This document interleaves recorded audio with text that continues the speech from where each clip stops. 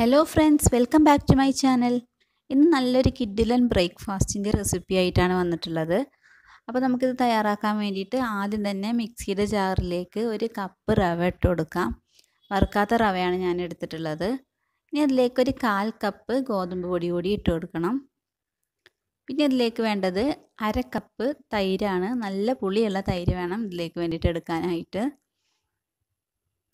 ഇനി ഒരു വലിയ സവാള ചെറുതായി കട്ട് ചെയ്തിട്ട് അതുകൂടി ഇതിലേക്ക് ചേർത്ത് കൊടുക്കാം. പിന്നെ ഒരു മൂന്ന് വറ്റൽമുളകും രണ്ട് പച്ചമുളകും കൂടി ചേർത്ത് കൊടുക്കണം. ഒരു വലിയ പീസ് ഇഞ്ചി ചെറിയ കഷ്ണങ്ങളാക്കിയിട്ട് അതുകൂടി ഇട്ട് കൊടുക്കാം. ഇനി ആവശ്യത്തിന് വെള്ളം കൂടി ചേർത്തിട്ട് നന്നായിട്ടൊന്ന് അരച്ചെടുക്കാം. പിന്നെ വറ്റൽമുളകും പച്ചമുളകും ഒക്കെ ചേർത്തത് കൊണ്ട് കൂടുതൽ എരിവൊന്നും ഉണ്ടാവില്ല. ഇതൊരു കറക്റ്റ് എരിവ് തന്നെയായിരിക്കും. ചെറിയൊരു എരിവ് മാത്രമേ ഉണ്ടാവുകയുള്ളൂ. അപ്പോൾ അത് നമുക്ക് നന്നായിട്ടൊന്ന് അരച്ചെടുത്തിട്ട് വേണം. ഞാനിവിടെ ഒരു മുക്കാൽ കപ്പോളം വെള്ളം ഇതിലേക്ക് ചേർത്ത് കൊടുക്കുന്നുണ്ട്.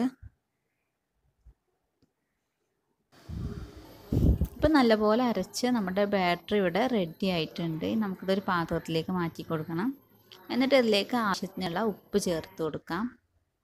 പിന്നെ അതിലേക്ക് ഒരു കാൽ ടീസ്പൂൺ ബേക്കിംഗ് സോഡ കൂടി ചേർത്ത് കൊടുക്കുന്നുണ്ട്.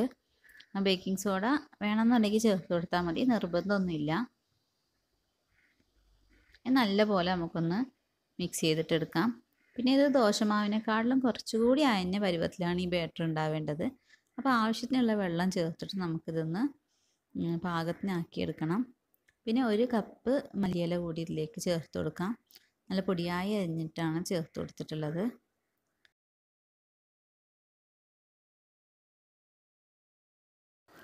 ഇനി ഒരു പത്ത് മിനിറ്റ് നമുക്ക് ഇതിനെ റെസ്റ്റ് ചെയ്യാനായിട്ട് മാറ്റി വെക്കാം. സമയമില്ലാന്നാണെങ്കിൽ ഇപ്പം തന്നെ നമുക്ക് ചുട്ടെടുക്കാം. പക്ഷേ കുറച്ച് നേരം റെസ്റ്റ് ചെയ്തിട്ട് ചുടുകയാണെന്നുണ്ടെങ്കിൽ കൂടുതൽ നന്നായിരിക്കും. അപ്പോൾ ഞാൻ എന്തായാലും ഒരു പത്ത് മിനിറ്റ് റെസ്റ്റ് ചെയ്യാൻ വെച്ചു. ആ പത്ത് മിനിറ്റിന് ശേഷം നമുക്കിത് പാൻ ചൂടാക്കിയിട്ട് ദോശ പോലെ ചുട്ടെടുക്കാം. അപ്പോൾ ഒരു സൈഡ് കുക്കായിട്ട് വരുന്നുണ്ട്. അപ്പോൾ ഈ സമയത്ത് ഞാനിതിന്റെ മുകളിലേക്ക് കുറച്ച് നെയ്യ് തൂവി കൊടുക്കുന്നുണ്ട്. ഓരോരുത്തരുടെ ഇഷ്ടത്തിനനുസരിച്ചിട്ട് നെയ്യോ ഓയിലോ എന്ത് വേണമെങ്കിലും നമുക്കിതിലേക്ക് യൂസ് ചെയ്യാവുന്നതാണ്. അപ്പോൾ ഈ സൈഡ് നല്ലപോലെ കുക്കായി വന്നിട്ടുണ്ട്. ഇനി നമുക്കിതിനൊന്ന് തിരിച്ചിട്ട് കൊടുക്കണം. അപ്പോൾ ആ സൈഡ് കൂടി കുക്കായി കിട്ടുമ്പോൾ നമ്മുടെ ഈസി ആൻഡ് ടേസ്റ്റി ആയിട്ടുള്ള ബ്രേക്ക്ഫാസ്റ്റ് റെഡിയാവും. അപ്പോൾ ഇതേ രീതിയിൽ നമുക്ക് ബാക്കിയുള്ള ബാറ്റർ മുഴുവൻ ദോശകൾ ചുട്ടെടുക്കാം. അപ്പോൾ അതിലേക്ക് പ്രത്യേകിച്ച് കറിയൊന്നും വേണമെന്നില്ല. ഇതിങ്ങനെ തന്നെ കഴിച്ചാലും ഭയങ്കര ടേസ്റ്റാണ് ഇനി വേണമെന്നുണ്ടെങ്കിൽ ചമ്മന്തിയോ ചട്നിയോ എന്ത് വേണമെങ്കിലും കൂട്ടിയിട്ട് കഴിക്കുകയും ചെയ്യാം.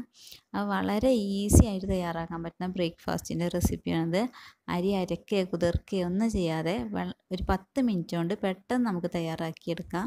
അപ്പോൾ ഇതെല്ലാവരും ട്രൈ ചെയ്ത് നോക്കണം. ട്രൈ ചെയ്ത് നോക്കിയിട്ട് ഇഷ്ടമാവുകയാണെങ്കിൽ വീഡിയോ ലൈക്ക് ചെയ്യാനും ഷെയർ ചെയ്യാനും മറക്കരുത്. പിന്നെ എന്റെ ചാനൽ ഇതുവരെയും സബ്സ്ക്രൈബ് ചെയ്യാത്തവരുണ്ടെങ്കിൽ മറക്കാതെ ഒന്ന് സബ്സ്ക്രൈബ് ചെയ്ത് സപ്പോർട്ട് ചെയ്യണം.